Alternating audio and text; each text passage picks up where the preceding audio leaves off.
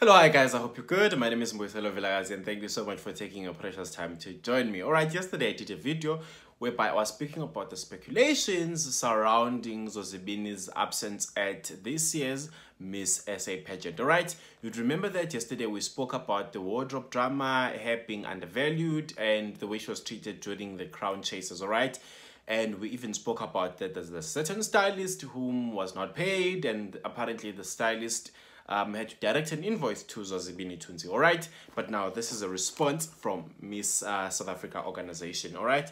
Um, there is an article that is released right now by IOL um, Entertainment, and this is what they're saying, okay? They consulted, or rather, they approached uh, Miss SA, and this is a response they got, all right?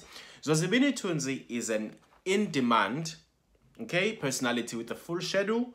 Other than that, the Miss SA organization cannot speak to Miss Tunzi's calendar nor so social media activity. However, she is always welcomed and celebrated at any Miss South Africa event. Hmm. All right, now let us find out what is um, Zozi's management saying, all right? Okay. Tunzi's team, in response to our questions, maintained their strict stance uh, of not commenting on speculative matters. All right, this is what they're saying. Our focus remains dedicated to ensuring our client, Miss Tunzi, is not subject of untoward discourse in the public domain. Full stop. Guys, someone here is not telling the truth. Someone is not taking accountability here. Um, I understand Zozi's team for their stance to say, you know what, we're not going to comment because I think they do not want to bend bridges you know.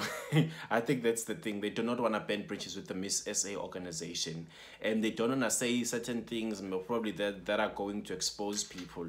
Um it is so sad guys that at times we have to be quiet you know because you're expected to be classy. She's a she's a former miss south africa. She's expected to be you know to uphold a certain image. And at times people are not expected to speak out. I really hope that these allegations are just allegations, all right? But if Ngambela yeah, um, was not treated in the right way, she deserves justice. And it's sad to see that the management, even her management, does not really want to speak out. I think obviously she's got a good PR team. They do not want to um, Zozi to be subjected to, um, because, guys, entertainment industry, there's a lot of gatekeeping. You know, you just press the one person the wrong way, you rub them the wrong way, and unfortunately, um, you find a lot of difficulties in your career. I like what Zoz is doing right now, but at the same time, people must not be subjected to injustice. All right, guys, I wanted to update you on that. That's the response from Miss South Africa. They're just saying we cannot control a calendar you know so basically they are basically saying Uzozi probably was busy with something else all right